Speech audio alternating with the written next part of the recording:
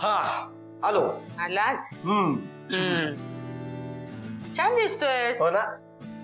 आई हे काय? आता हे सगळं करायला मी लहान आहे का ग? औक्षण काय फक्त लहानपणीच करायचं असतं असं नाहीये. सासूबाई नेहमी म्हणायच्या आपली संस्कृती आपण नाही जपणार तर कोण जपणार? आजकालची मुलं वाढदिवसाला केक तोंडाला फासतात. पण आपली संस्कृती ही मेणबत्त्या विझवण्याची आणि अन्न वाया घालवण्याची नाही औक्षण करण्याची आहे. बरोबर आहे. हो ना. मग मुकट्याने करून घे. चला. जरा पेढा आण रे. आणतो.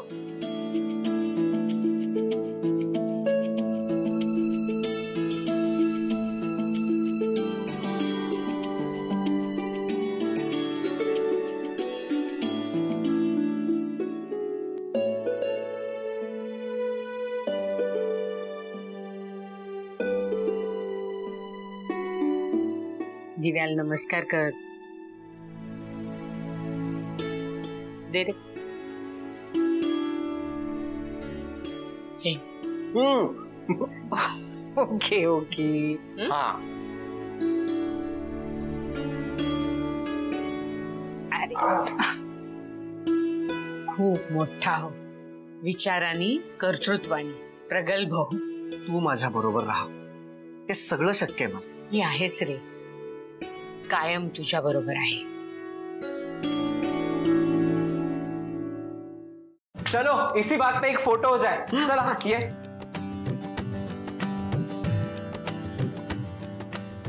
आणि मी? अरे ये ना. ये ना. वा ग्रेट काय मग चाचू? आज काय प्लॅन प्लॅन अरे बाबा तुला काय पार्टी वगैरे करायची का काय? हॅलो वाढदिवसाच्या दिवशी मग काय करतात? सेलिब्रेशन करायचंच असतं काहीतरी. अरे चाचू यो लो. What is that you only live once आणि जर एकदाच या जगात आलोय आपण तर सेलिब्रेशन व्हायला पाहिजे ना दरवर्षी. ठीक आहे करू काहीतरी. रात्री बाहेरून जेवायला मागू. नितीनला बोलू. ऍक्च्युली त्याला बोलवायची गरज नाही तो येईलच. बरं चला मी जातो. मी ऑफिसला चाललोय. आई डबा पाठवशी हो तर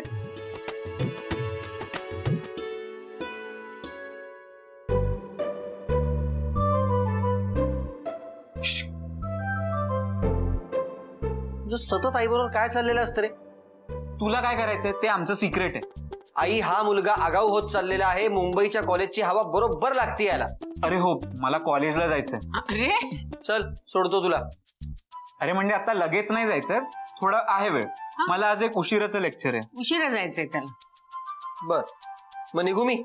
बाय बाय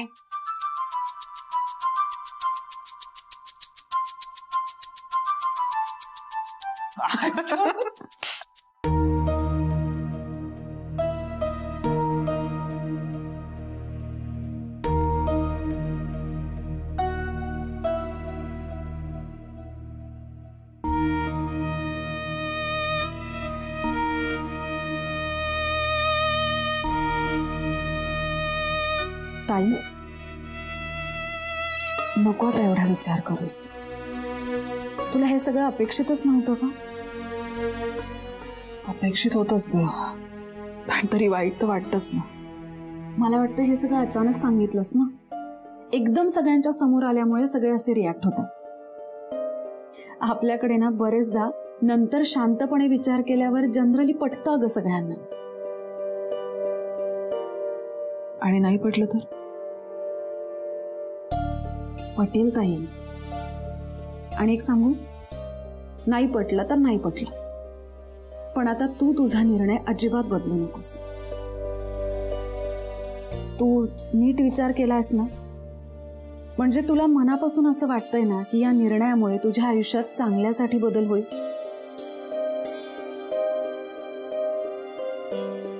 हो. मग झालं तर? नको आता प्रत्येकाचं मत विचारात घेऊच. एरवी नसतंच घेतलं. आणि माझी माणसं आहेत. माझी मुलं आहेत. अर्ध आयुष्य ज्यांच्याबरोबर घालवलं ती माणसं आहे ती हो ताई. पण ते तुझ्या भविष्याचा विचार करायला कमी पडतायत. त्याला तू तरी काय करणार आहेस? मला तरी खूप आनंद झालाय तू हा निर्णय घेतलास त्याचा. हे बघ ताई. प्रत्येकाला आपलं आयुष्य प्रत्येकाला कुणी ना कुणीतरी आहे. तुझ्या बरोबर कुणीतरी हवंच ना. आम्ही सगळे आपापल्या व्यापात असताना तू एकटी काय करणार आहेस? पुढे पुढे तर आम्ही आमच्या संसारात आणखी अडकणार. आणि बाबांची गोष्ट वेगळीच आहे. त्यांच्या जवळ सगळं असून सुद्धा त्यांना ते नको असेल तर त्याला तरी आपण काय करणार आहे? तुझ्या बरोबर तुझ्यासाठी असं कुणीतरी असायला हवं. तुला जोडीदार हवा. म्हणजे खूप मोठ्या गोष्टींसाठी असं नाही अगं. पण फिरायला जायला नाटक सिनेमाला जायला किंवा मग हॉटेलमध्ये जायला सुद्धा आपल्याला आपल्या बरोबर माणूस लागतो. कुठे कुठे एकटी जाशील? आणि का? देव न करो पण यांच्यावर जर ही वेळ आली तर हे नाही का हा विचार करणार? भरत दरवेळी कोण नवीन कंपनी शोधणार आहेस? काय हरकत आहे? एक हक्काचा माणूस असावा असं वाटलं तर. आणि तो तुला मिळालाय ताई. एक खूप चांगला माणूस तुझ्या आयुष्यात आलाय तोही एकटा आहे. तुम्ही दोघं एकमेकांना खूप छान साथ देऊ शकता. पण मग कशाला आता तू यांची मतं ऐकतीयस? बरं मला सांग. अभि एकदा तरी त्याचं काम सोडून किंवा त्याने जे काही ठरवलंय ते सोडून तुझ्याशी गप्पा मारायला आला का? मग ताई तू का एकटीने राहायचं? तुझ्यावर हे कंपल्शन अत्यंत चुकीचं आहे. खरी गोष्ट ही आहे की या सगळ्यांना तुझी गरज आहे. तू त्यांना ऍट देअर डिस्पोजल असायला हवी आहेस. कधीही बोलावलं की धावत सुटायला. उद्या जर का तू तुझ्या संसारात अडकलीस तर असं तुला कधीही उठून इकडे येता येणार नाही यायला जमणार नाही याची भीती वाटते यांना. तू त्यासाठी आता तुझा निर्णय अजिबात बदलू नकोस. काही झालं तरी. मी तुझ्या बरोबर आहे, ताई. पण अनघा मी मी स्वार्थीपणे विचार करते का ग? फक्त स्वतःचा विचार करते का? कारण माझी गरज इथे असते, हे खरं आहे. अगं, मग एकत्र कुटुंबाला अर्थ काय? घरात आहेत की एवढी माणसं? एमर्जन्सी मध्ये अजून कुणाला तरी बोलवायची का गरज लागू शकते? धावपळ करायला घरात इतकी माणसं आहेत. आणि हा मानसिक आधार म्हणून तू कायम आजूबाजूला असशीलच की? हो ग मी कुठे जाणार आहे? इथेच तर असेल तुमच्या अवतीभोवती. मग काय तर? आणि मला अजिबात असं वाटत नाहीये की तू स्वार्थी विचार करतेस. उलट तू आम्हा सगळ्यांचा खूप जास्त विचार करतेस. तू इथे राहत नसलीस ना तरी सुद्धा तुला आम्हा सगळ्यांची काळजी असते. मला गौरीला तू पहिल्या दिवसापासून कायम ईशासारखंच वागवलंस. जेव्हा इतर कोणी आमच्या बरोबर उभं राहिलं नव्हतं तेव्हा तू आमच्या बरोबर होतीस. सोडून दे. हे सगळे नुसते शब्द आहेत. भीती वेगळीच आहे अगं. पण अनघा आता माझ्यामुळे परत तुझ्यात आणि अभिमध्ये वाद होणार आहेत का? आणि तेही तुझ्या ह्या अवस्थेत. हे बघ आताही तुला काळजी हीच आहे. हो कारण मला तुमच्या संसारात कुठलीही अडचण आणायची नाहीये. मला माहितीये अनघा आभीबरोबर संसार करणं सोपं नाहीये. तू समजूतदारपणे करतेस.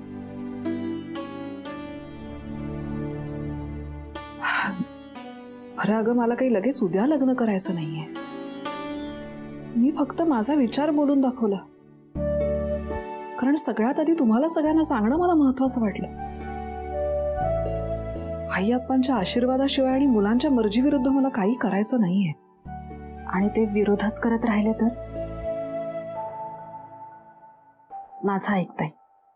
आता तू कुणाशी बोलू नकोस याविषयी. तू सांगितलंयस ना. मग झालं. आता त्यांचा त्यांना विचार करू दे.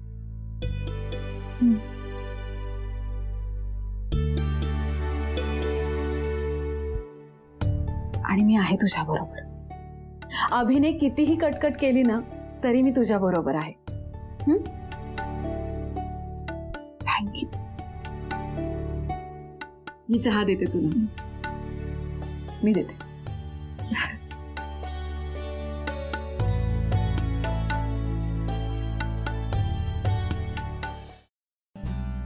चला. अरे एक मिनिट थांब बाबा. आधी हा डबा घे. जास्त वेळ माझ्याकडे ठेवू नकोस नाही तर रिकामा डबा मिळायचा तुला. बघू काय आहे. हम्म. हा हा हा. हा मोती चुराचे लाडू. बाई घरी साजूक तुपात बुंदी पाडून केलेले लाडू आहेत. वाव. कमाल या वर्षाची. अरे रे अरे मोठी ऑर्डर होती तिने आचारी बोलवला होता. अच्छा. हे खास माझ्याकरता केलेले नाहीत का? मग नको मला. रे अरे असं करू नको असं करू नको. अरे तुझ्यासाठी ती मारेल मला. चुकलं माझं. भाऊरायाचा वाढदिवस आहे आज. क्या बात आहे. भाई हॅपी बर्थडे थँक्यू ब्रदर वा बघू तरी. हम्म, वा अप्रतिम. अप्रतिम झालेत. वर्षाला फ़ोन करतो रे. कर कर. बर मला सांग. आज तुझा वाढदिवस आहे म्हणून तू सुट्टी बिट्टी घेतली नाहीयेस ना? नाही म्हणजे माझं म्हणजे वाढदिवसाच्या दिवशी मी डबल काम करतो. हो हो मी पण तसंच करणार आहे. दिवसभर आज ऑफिसमध्येच काम करत बसणार आहे. दिवसभर? हम्म. एक मिनिट. संध्याकाळी तू काही मीटिंग वगैरे ठेवलेले नाहीयेस ना? ठेवली आहे ना? का काही प्रॉब्लेम आहे का? अरे त्याच्या नादात मी आपला केक कटिंगचा कार्यक्रम पण कॅन्सल केलाय ते चांगलं केलंस. अरे ते चांगलं केलंस काय? अरे आशू तूच या सगळ्या मीटिंग सेट केल्या होत्यास. आणि हे बघ क्लायंटला संध्याकाळी जमणार आहे कारण त्यांना रात्रीच्या फ्लाईटनी अमेरिकेला परत जायचंय. सो आजची संध्याकाळची मीटिंग कॅन्सल होऊ शकत नाही. ओके संध्याकाळी जरा वेळेत संपवायचा प्रयत्न करूयात पण आपण. अरे पण का? तुझे काही वेगळे प्लॅन्स आहेत का? हे तसा प्लॅन काही नाही. अरुंधतीला भेटायचं आहे. आ, मग ठीक आहे. अ, ह, ह, ह, ह. So, आता बर्थडेची संध्याकाळची प्लॅन्स ऑलरेडी झालेत तर. हा. पण म्हणजे आता मित्राला विसरणार तू. विसरलास ना? विसरलास मित्राला. नाही बरोबर आहे. आता हे असं होणारच. तुला वाटतं तसं काही नाही रे बाबा. अरुंधतीला माझ्याशी काहीतरी बोलायचं काहीतरी महत्वाचं असताना म्हणून आम्ही भेटतो अरे ठीक आहे ठीक आहे ठीक आहे. काय हरकत नाही. आपण लवकर करायचा प्रयत्न करू पण हे बघ सगळं काही क्लायंटच्या हातात आहे. हम्म. नित्या अरुंधतीला माझ्याशी काय बोलायचं असेल रे? सगळं ठीक असेल ना? ओके असेल ना ती? झालं. आता दिवसभर हा भुंगा तुझ्या डोक्यात फिरत राहणार नाही का? नाही तर काय? अर्धवट बोलण्याला की मला असा त्रास होतो रे. अरे तू कशाला एवढं टेन्शन घेतोस? बिंदास्त राहा. बरं मला सांग तुला माझ्याकडून वाढदिवसाला काय गिफ्ट हवंय? खरं सांगू? हा. काही नको.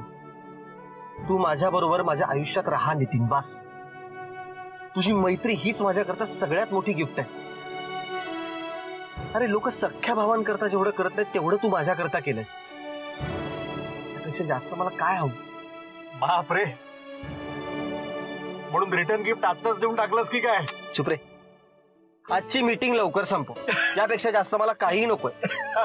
हवं तर तुला एक लाडू देतो मी त्याबद्दल तुम्हाला अर्जंटली बोलवून घेतलंस मला टेन्शनच आलं. मी धावत येऊन गेलो. काय झालंय? मला तुझ्याशी जरा बोलायचं होतं. हा बोल. हे पण जरा लवकर हा. कारण यानंतर आपल्याला घरी जायचंय चाचूच्या वाढदिवसाची तयारी करायला. मला नाही यायचंय तुझ्या घरी. अगं पण पार्टी घरीच आहे. मला आशुतोष सरांच्या वाढदिवसाला सुद्धा नाही यायचंय. का? ओ डाएट वर आहेस? केक नकोय? अगं ईशा कम्माल केक आणलाय आम्ही. अनिश मी काहीतरी सिरियसली बोलते तुला कळत नाहीये का? मठ्ठ आहेस का तू? नाही पण मी हा सिरियसनेस जरा ना कमी करण्याचा प्रयत्न करतो. Isha don't take thing so seriously यार. म्हणजे तू खूप विचार करतेस खूप सिरियस असतेस तू. माझ्या आईला दुसरं लग्न करायचंय.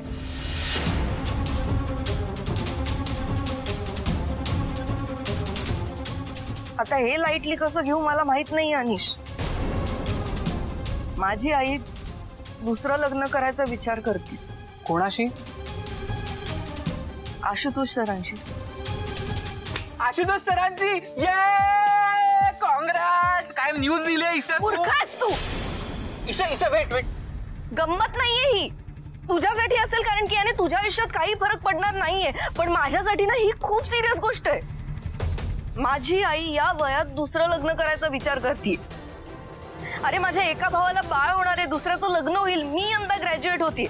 आणि माझ्या आईला लग्न करायचंय. तेही आशुतोष सरांबरोबर जे फक्त तिचे कलिग नाही जुने मित्र सुद्धा आहेत. बस. बस प्लीज़ यु नो दरवेळी मला असं वाटतं की आमच्या घरात यापेक्षा विचित्र काही होऊच शकत नाही. आई बाबांचा डिव्होर्स बाबांचं दुसरं लग्न आता आप्पांना डिमेन्शिया झालं ना आता सगळं ओके व्हायला हवं ना? पण नाही हे सगळे इश्यूज़ असताना माझ्या आईला तिच्या जुन्या मित्राशी लग्न करायचं. कमाल आहे. हे लोक ह्यांच्याच इश्यूज़ मधून बाहेर पडत नाही आमच्याकडे काय बघणार आहे? आय एम सॉरी ईशा पण या सगळ्यात प्रॉब्लेम काय ती लग्नाचा विचार करते हे मला पटत नाहीये. नाही म्हणजे त्यात चूक काय त्यांना सुखात राहण्याचा अधिकार नाहीये का? अरे, पण काय गॅरंटी आहे ती सुखात राहील याची हे बघ, अनिश, माझी एकटी नाहीये, कळलं ना? घरात आठ माणसं राहतो आम्ही. तिला बोलायलाच कोणी नाही, असं नाहीये. बरं, ती खूप काम करते, म्हणून तिला वेळच नसतो. त्यामुळे ती कंटाळते, असंही नाहीये ना? सगळं चांगलं चाललंय, मग कशाला लग्न? किती ऑड वाटतं ते. आई, दुसऱ्या कोणाबरोबर तरी राहणार, एकाच घरात. मला खूप ऑकवर्ड होईल ते. तुला माहितीये, अभिदादा, आजी, बाबा हा निर्णय पटला नाही. बरं, प्रश्न फक्त आमच्या घरचा नाहीये ना? आता आईला बाहेर लोक ओळखतात. मीडियामध्ये सुद्धा चर्चा होईल. लोक काय म्हणतील? किती चीप वाटतं ते. ते न्यूज़ मध्ये येतं ना, की ही गायिका आता ह्या पुरुषाबरोबर राहते. बरं, आई आता लग्न करून कॉलेजमध्ये जाणार. म्हणजे कॉलेजमध्ये अजून चर्चा. मला आईला ना आता चर्चेत राहायला आवडायला लागलं. एवढ्यासाठी लग्न करतील त्या? तू जर विचार ना, तर याचं उत्तर नाही आहे असं तुलाही माहितीये ईशा, अगं मॅम अदरवाईज खूप सेन्सिबल आहेत. सो त्यांनी हा पूर्णपणे विचार करून घेतलेला दुसरी गोष्ट, त्या सतत तुमच्या आनंदाचा आणि सुखाचा विचार करतात. तुम्ही का नाही करू शकत? आणि तुझ्या का तुमचा विचार दुसरं लग्न करण्याआधी? अगं मग सगळी रेस्ट्रिक्शन मॅमनाच का? हे बघ अनिश आशुतोष सर तुझे काका आहेत म्हणून तू त्यांच्या लग्नाला सपोर्ट करतोस. ईशा तू इतकी मॉडर्न आणि लिबरल विचारांची मुलगी आहेस. तू असं बोलतेस? हो हो. म्हणजेच जगातले बाकीचे काय बोलतील विचार कर. त्यांच्या म्हणण्याने कोणाला काय फरक पडतो? आणि किती दिवस? हे बघ काही गोष्टींचं एम्बॅरेसमेंट ना पुढचे कित्येक जनरेशन राहतं. ईशा मुळात ना हे एम्बॅरेसिंग आहे तुझ्या डोक्यातून काढून टाक. अगं, तुझ्या आयुष्याचा कोर्स ठरवण्याचा अधिकार जसा तुला आहे, तसा तो जगात बाकी सगळ्या अडल्ट्सला आहेच. आणि समजा, उद्या तू जर एखाद्या अशा मुलाशी लग्न करण्याचं ठरवलं, जो तुझ्या आईबाबांना पसंत नाहीये, मग तू काय म्हणशील? की हा माझा चॉईस आहे. याचे कॉन्सिक्वेन्सेस मी फेस करणार आहे. अगं, मग तुझी आई तसं का नाही म्हणू शकत? तुला फ्रीडम एक्सपेक्टेड आहे ना? तुला तुझ्या घेतलेल्या निर्णयात कोणाची लुडबुड नको आहे ना? अगं, मग तू त्यांच्या डिसिजन मध्ये का ढवळाढवळ करतेस? ईशा मॅम ना आता तुझ्या सपोर्टची जास्त गरज आहे. अपोजिशनची नाही. एकदा खरंच एका मॅच्युअर मुलीसारखी जाऊन त्यांच्याशी बोल. आणि त्यांनी तुझ्यासाठी त्यांचं सगळं आयुष्य खर्च केलंय. सगळेच आई बाबा करतात. हा मग सगळ्या मुलांनी त्यांना सपोर्ट पण करायचा असतो. हे नेहमी तसं वन वे नसू शकतं. आणि ईशा तू मोठी झाली असं वाटतं ना तुला? अगं मग ते तुझ्या वागण्यातून दाखव. लेट हर बी हॅपी आणि उलट मला असं वाटतं ना की तुझ्या वडिलांनी आधीच त्यांच्यावर जाती केली आता तू नको करूस प्लीज़ आणि मी बर्थडे सेलिब्रेशनला जाणार आहे. तुला नसेल आवडत तर तू नको येऊस. सी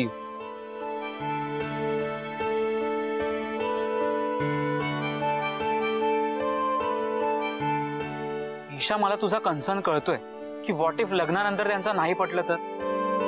अगं पण आता जे दिसतंय ना त्यावरून मी तुला सांगू शकतो की असं नाही होणार. कमाल फ्रेंडशिप आहे त्यांची.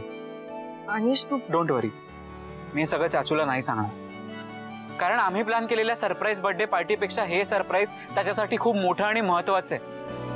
आणि या दिवसाची तो कधीपासून वाट बघतो मी त्याचा आनंद नाही स्पॉइल करणार. आणि कोणाला करूही देणार नाही. See you in the evening hopefully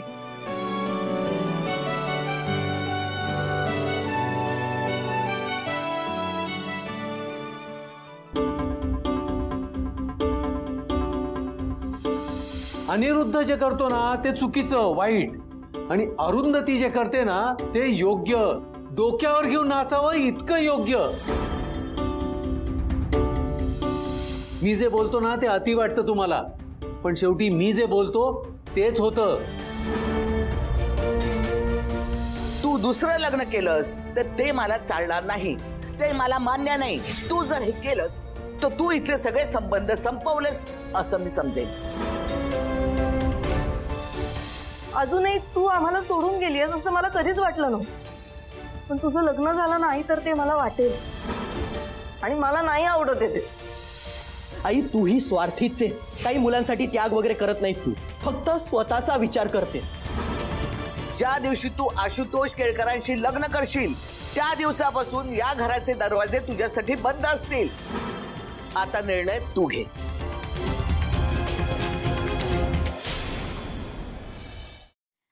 तुमची आणि तुमच्या परिवाराच्या मनोरंजनाची जबाबदारी घेतलेली आहे. तुम्ही फक्त घर बसल्या बघत राहा स्टार प्रवाह यूट्यूब चॅनल आणि हो हे चॅनल सबस्क्राईब करायला विसरू नका.